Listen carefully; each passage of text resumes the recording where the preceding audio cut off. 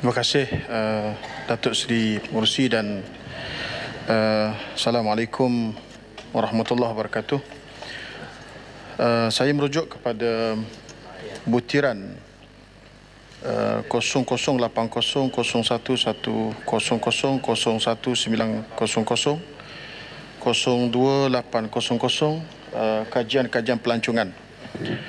Uh, di tempat saya Tuan uh, Datuk Pengusi, uh, Pantai Snok Bacok atau uh, sekarang lebih popular dengan Pantai Nami. Begitu popular di kalangan uh, masyarakat tempatan. Uh, soalan saya adakah sebelum ini lokasi pelancongan ini telah dibuat kajian oleh kementerian? Uh, apakah pula uh, dapatan kajian berkenaan?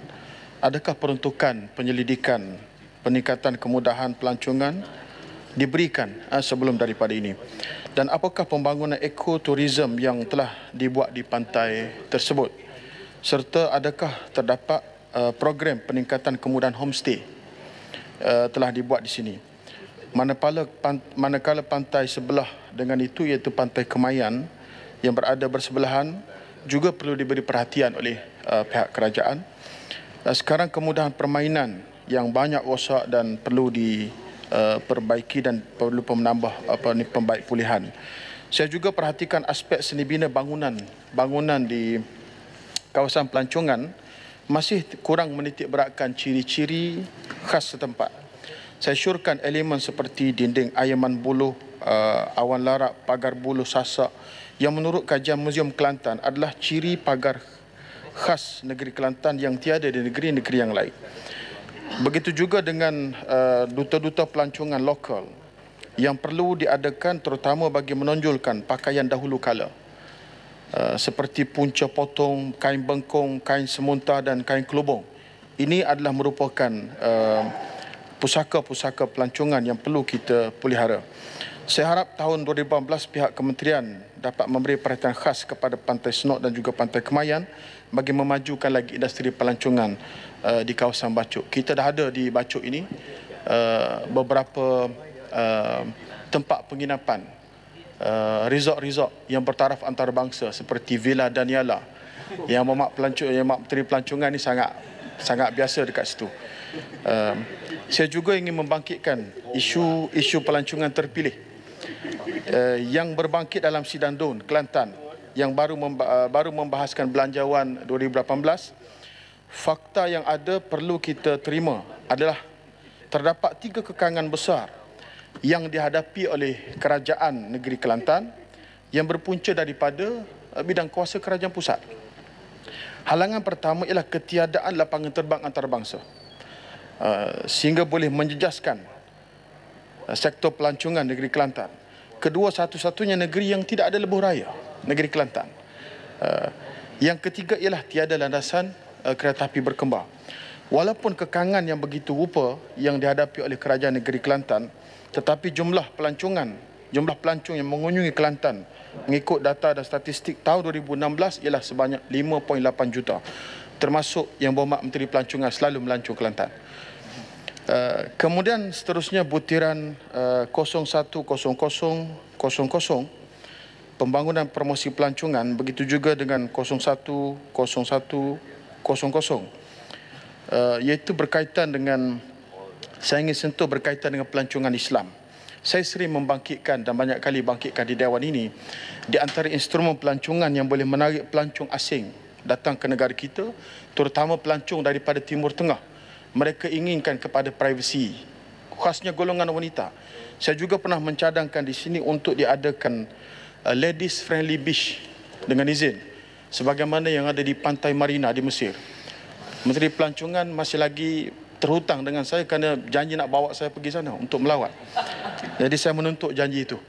Begitu juga dengan uh, soal yang saya pernah bangkitkan di sini ialah kalau di, kalau boleh uh, berkesempatan ataupun berkemampuan bajet yang ada dalam Kementerian Pelancongan ini untuk uh, uh, kita menjadikan Dubai sebagai benchmark Dubai sedang uh, yang telah menambah satu produk pelancongan baru iaitu mengadakan satu taman tema tumbuhan dalam Al-Quran. Uh, ada lebih 50 spesies tumbuhan yang disebut dalam Al-Quran.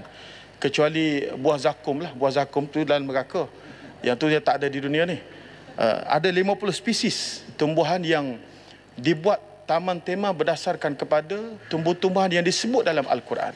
Saya rasa kalau di Malaysia ni ada taman tema seperti ini, ini lagi uh, boleh uh, menggalakkan kehadiran pelancong khususnya yang berkaitan dengan pelancongan Islam. Kemudian saya ingin merujuk kepada butiran 40600 program pemeliharaan pemugaran tinggalan sejarah uh, yang dianggarkan berjumlah 10 juta.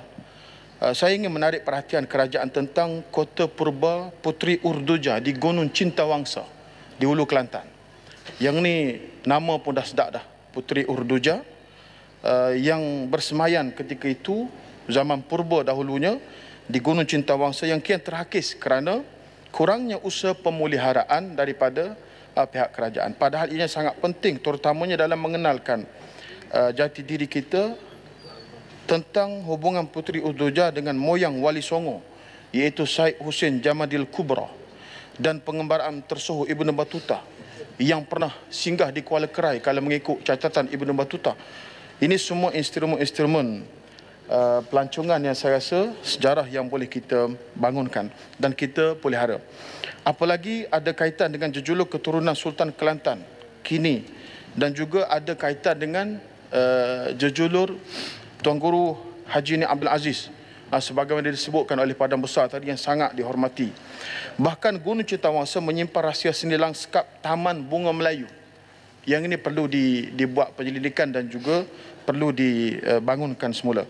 Saya pernah membangkitkan soal ini dan kerajaan beri komitmen untuk membantu tetapi uh, sehingga ke tahap ini barangkali sudah ada tanpa pengetahuan saya pohon uh, penjelasan daripada pihak menteri.